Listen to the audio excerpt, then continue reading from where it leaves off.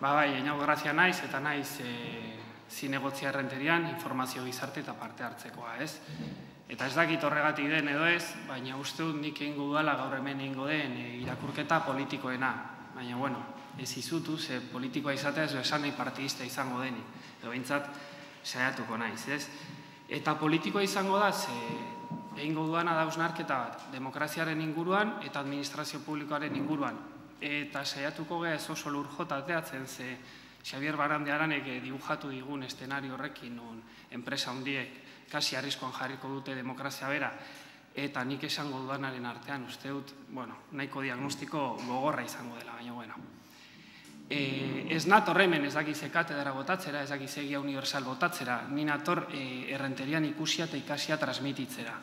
Hori bai, eta hau esango dut, oso begirada konkretu baten pean, eta da, e, zientzia politikoek ematen diguten betaurrekoa jarrita ditugula, izan dezakegun begirada baten pean, ez? Eta zentzu honetan, ba, bueno, ba, nik bi, bi deia nagusi botako ditut. Bata, administrazio publikoak ez direla neutralak. Hau, berriz errepikatuko dut. Administrazio publikoak ez dira neutralak. Eta bigarren ideia, azpimarratzea, ikaten garrantzia, neutralak ez diren administrazio eta instituzioen markoak gainditzerak orduan. Baina, bueno, zuzenean lehenengo ideiarekin sartuz, deitu diot administrazio relazionala. Administrazio relazionala gero azalduko dut e, zergati deitze dio ez? Baina, bueno, hartxo bat, eta da e, administrazio publikoa hitz egiten dudanean, ez dut aldira azpimarratuko, baina diot referentzia egiten e, administrazio lokale, munizipioei udalei dela gehien ezagutzen duan esparrua, ez? Eta zentzu horretan, e, norbaitek esaten dianean beira, e, ez dakit e, nungo herrian, nahi dute prozesu bat egin, teknologiak txertatzeko, berrikuntzak txertatzeko, taldatzeko lan egiteko moduak, edo gardentasunean pausuak eman dituzte, eta bar, niri guzta ez daite hitz egitea oso gutxi hitz egiten den zerbaitetaz, eta da prozesu horretan paraleloki topatuko dituzten zailtasun, kontrako jarrera eta blokeo egoerez, ez? Eta orduan, e, gaur hemen hitz egingo badugu ere e, gobernu ireki, ez gardentasunaz, parte hartzeaz eta bar, nik fokoa jarriko dut debate preexistente batean. Dela administrazioaren izaera. Ze administrazio mota ditugu? Nolakoak dira instituzio hauek, ez? Ze azken finean, segun eta ze administrazio mota ditugun honek predeterminatuko duelako askotan, edo inandi batean, ze gobernantza eredu diren posible eta ze gobernantza eredu ez diren posible. Edo beste modura esateko, ezarriko duelako, eta ezarri da termino bat konstientek irabiltzen dudana, ezarriko duenako e, posible denaren eta posible ez denaren markoa, ez? Eta hau argi baldin badaukagu, e, topatzen ditugunean aldaketa prozesu horietan lehen aipatutako blokeo, kontrako jarrerak eta bar, identifikatu izango ditugu benetan direna bezala. Hau da, muga sistemikoa bezala, izan instituzioarenak, izan administrazioarenak, bai. Eta honek nahiko logikoa ematen du, denak onartuko duzute, bueno, bai, pues administrazioaren izaerak determinatzen du zer egin daiteken, zer egin ezin daiteken, ez? Baina zergatik esaten duzu e, administrazioak ez direla neutralak.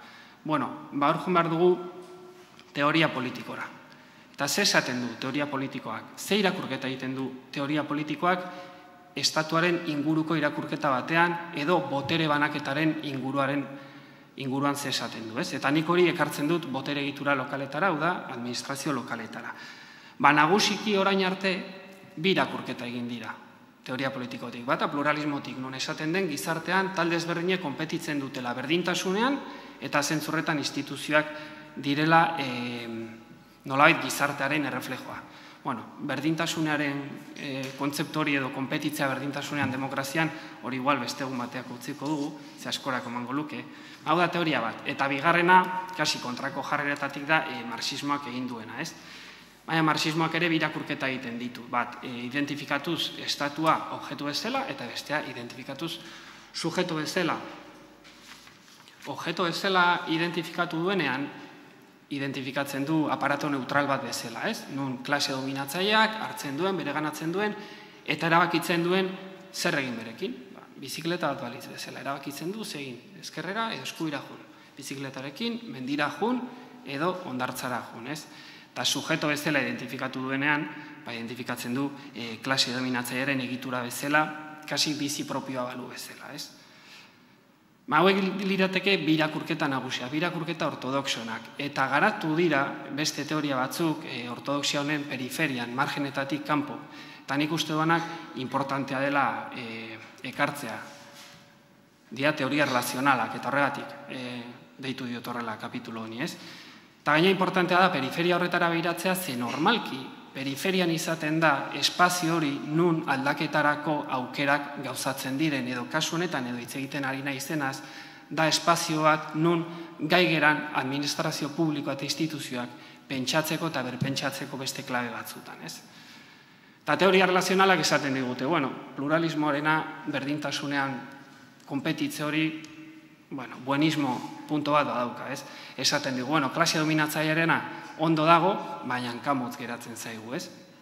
Eta esaten digute ez, instituzioak estatua dena, eta nik trasladatzen dut hori, e, botere egitura lokaletara, baldintzatuta dago hiru elementuren gatik.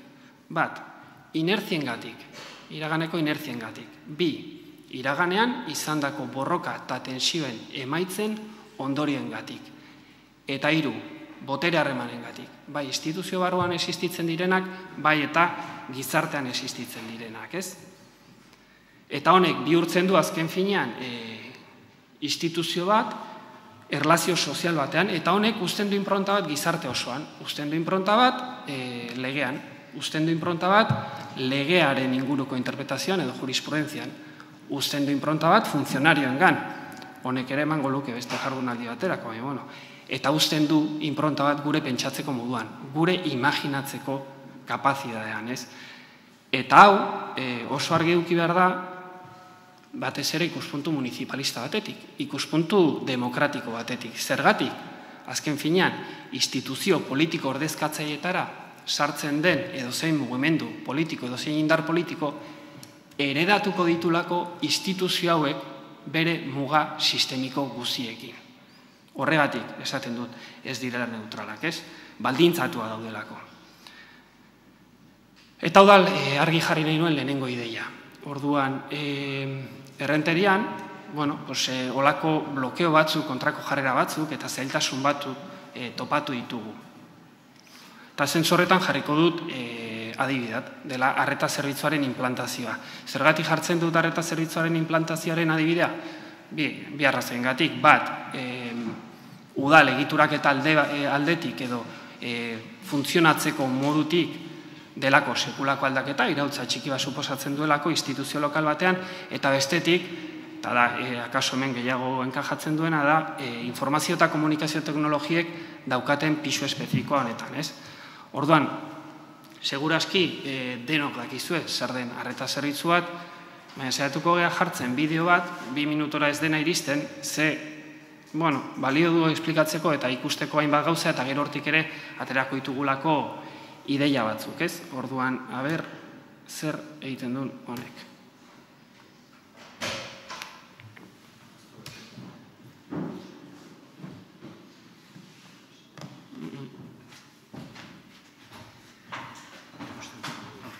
Ateri.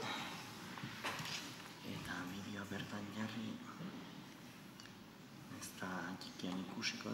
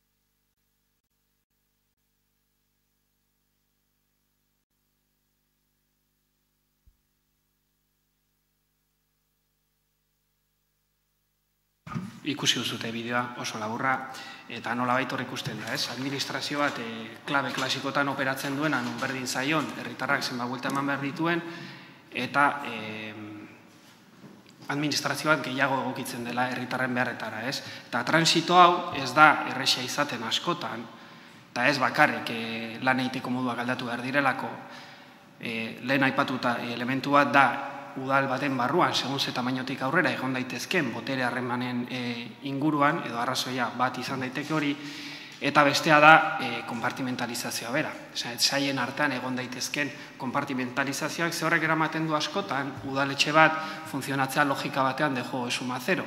Hau da, e, zail batek irazten duena, besteak galtzen duen. Eta hor, kompetizioantzeko batean, erortzen da, Eta horregatik nik askotan erdi broma edo erdi serio esaten dut, e, udal batek, bueno, badukala asko ikustekoan niri guztai zaidan fikziozko serie batekin, dez? Eta e, fikziozko serie hori da Juego de Tronos, orduan, atera ezakezue kontuak zer izan daiteken batzutan udaletxe bat, ez? Baina, bueno, hau guztia zertarako, bueno, pues administrazioa beste klabe batzutan pentsatzeko, administrazioa aldatzeko, ze azkenean ere administrazioak ez dira zerbait monolitikoak, historian zehar jundira aldatzen eta paradigma desberdinak transitatu dituzte. Lehenengo administrazioa sartzen denean, deitu zaio administrazio weberiarra, hau da, administrazio bat oso legaliformea, oso garantista bai, baina era berean administrazio bat dela oso motela, oso burokratizatua, ez?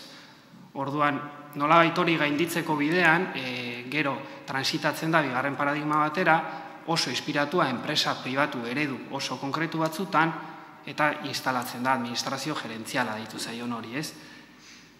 Eta da, administrazio bat bai dazkarragoa, bai bai da oso vertikala ere bai, ez? Eta orain ari gara transitatzen hirugarren estenario batera, administrazio relazionalera. Hau da, administrazioa, nun administrazioa bera, kostiente den, herritar guziek eskubide errina dituztela, baina non kostiente den ere bai, herritar bakoitzak behar ez dituela, ez? Eta zentzu horretan, saiatzen da bakoitzarekin nolaiteko dialektika bat ezartzen. Eta horren adibide nagusia izan daiteke arreta zerritzua, ez? Nun saiatzen den administrazio hori egokitzen herritarren beharretara. Baina, bueno, sartua zarreta zerbitzu baten implantazioan bete-betean, bueno, ba, lan egiten da no, e, nagusiki hiru ardatzetan, ez? Bat, suposatzen du e, espazioa bera pentsatzea edo berpentsatzea, bi, prozedimentoa berrikustea, eta hiru e, teknologien alorra, ez? Bigarren eta hirugarren puntua e, oso lotuta doaz elkarrekin. Orduan, espazioari dagokionez, hombre, pues espazioak beti determinatzen du gure erlazionatzeko modua. Espazioa ere ez da, ez da neutrala, ez da kasualidadea, zue baldin bazoaztela epaiketa batera, epaia zu baino altuago egotea. Ez da kasualidadea, ni hemen hitz egiten egotea zu baino altuago edo ez da kasualidadea udaletxe batean baldin bazoaztela alkatearen bulegora dain horrena baina handiagoa. Hor zerbait transmititzen da, ez? Hor zerbait transmititu nahi da. Eta zentzorretan ere guk, bazeuden balio batzun transmititu nahi genituenak, bueno, pues, eh, nahi genuen espazio bat gardena, lasaia, goxoa, eta bar, ez? Orduan, egin behar izan genuen beko solairu guzea e, remodelatu, eta hainbat zail lekuz mugitu, eta egokitu da letxe guzia mugitu denuen artxiboaren parte bat, rentaz, diru bilketa, berdintasuna, izkuntz politika saia, komunikaziokoak, eta bar, eta barrez. Eta planteabentu horietan, lan eiteko moduak aldatzen dituzun tamainan, agertzen dira, blokeoak, zailtasunak eta lehen aipatutakoak, ez? Bigarren lan ardatza, prozedimentoa berrik Gu ginenean prozesu honetan e, inventariatu genituen berreunda iru tramite. Berreunda iru modu, herritarrak zituenak e, udalarekin erlazionatzeko. Zer den erlazionatzeko modu bat? Bueno, pues errolda bat eskatzea, gizarte zerbitzutan zita bat eskatzea, edo licentzia de obra menor bat eskatzea, ez?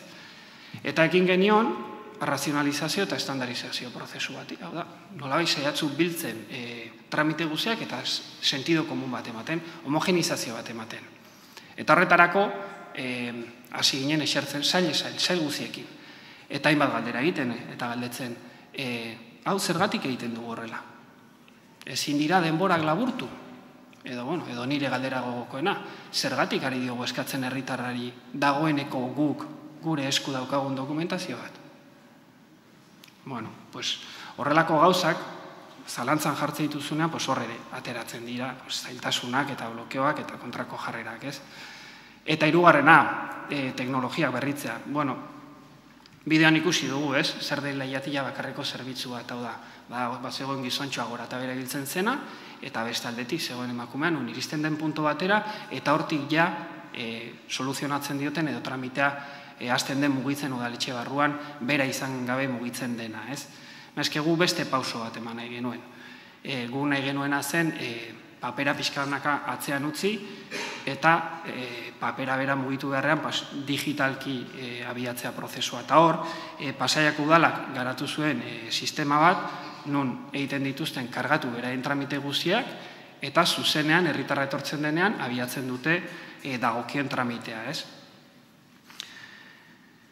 Eta zentzu horretan, e, bueno, teknologia berritza ere horrek albidetzen du sisteman kargatzea, herritarrak etxetik ere modu telematikoan egin alizatea hainbat eta hainbat tramite, ez? Eta, bueno, lehen esan dut, paseaiak garatu zuela, ba, bueno, nola software aske eta konpartituaren aldekoa garen, bagu hori ere txertatu genuen hemen, ez? Eta bi elementu azpimarratzekoak eolako foro batean, bueno, pues Euskara utxean dagoela garatua, ze barrura begirakoa da, eta izkuntzu eskakizunak oso zehaztuta genituen langileentzat, eta bigarrena e, software librean egina dagola, ez?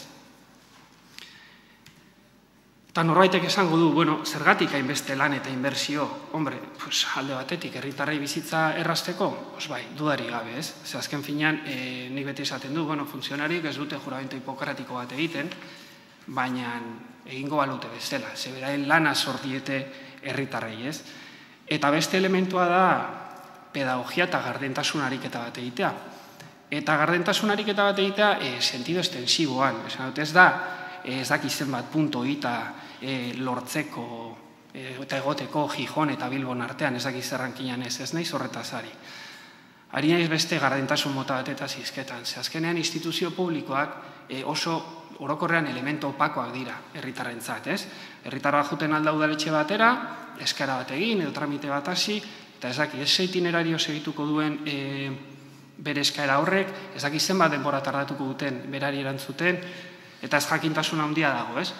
Eta guk hor saiatzen gara kaxa beltzori irikitzen, eta ez da ez errasmatu, behar da e, paketeria sistema gaukaten zerbait asmatua duela asko, ez? Zuk erosten duzu zerbait internetez, eta zerte izute, ea estokean dagoen, ea e, zentral den biosera pasatu duten, ea delegazio lokalera pasatu duten, eta ea zure txerak juteko bidean dagoen. Hau da, hor trazabilidade bat dago eta guk hori instalatu nahi genuen, ez? Eta hori oso oso udal gutxitan dago, eta horre ere akaso badaukan nire teoria propioa, baina gaur ez da kabitzen. Hemen, gafapillo bat dago, baina bueno, azken finean, e, no, adibideak ari naiz jartzen, ez zailtasunak, zurruntasunak, ez egizer, bakizer, ez? Eta nahiko termino abstrakto eta porosotan. Jarriko dut e, adibide bat, e, uste dudana balioko duena e, ulertzeko zertaz ari nahi zen. Zer da adibidea eta erreala errenderien gertatu zitzaiguna, eta nituzke gehiago, eh, jartzeko, baina bat jarriko dut eta gero ja konklusiotara jongo naiz. Aurtengo izan da lehenengo aldia e, udaleku zerbitzu bat dago, eta herritarra etorrial izan dena, apuntatu dena, ordaindu duena udaletxean, eta etxera jundela zikloa e, itxi duela, ez? E, bideoko emakumea bezala edo ere, etxetik egin ahal izan duela, ze, bueno, garatu du, plataforma digital bat e, gazteriko webgorrian, eta posela izan da puntatu, pasela pagoz bitartez ordaindu, eta jazta, ez? Mila berreun aur apuntatu dira. Kontuan hartu, ze izan daiteke, mila berreun aur, eta gurasoen trafikoa, eta barrez. Ma hori izan da urte lehenengo aldiz. Iaz arte, etortzen ziren udaletxera, e, mila berreun e, aurroien gurasoak, hartzen zuten papera, betetzen zuten, juten ziren bankora, ordaintzera, pagatzen zuten laurura arteko komisio bat, eta guk hori ikusi genuen, esan genuen, hau ez da posible. Eta ez da posible soilik eh, komisioaren gatik. Edo ez soilik ere ez legeak behartzen dulako administrazio lokala bertan kobratzera. Igual beste egun batean hitz egiten dugu administrazioaren hipokresiaz, ez. Ez da posible e, plantamentu etiko batetik. Nola zerbitzu publiko batera e, apuntatzeko instituzio pribatu batera joan behar duzula. Eta esan genuen, eta esan gut pluralean beti elegantego gelditzen dela, ez? Esan genuen, hau ez dugu hartuko, hau ezin da.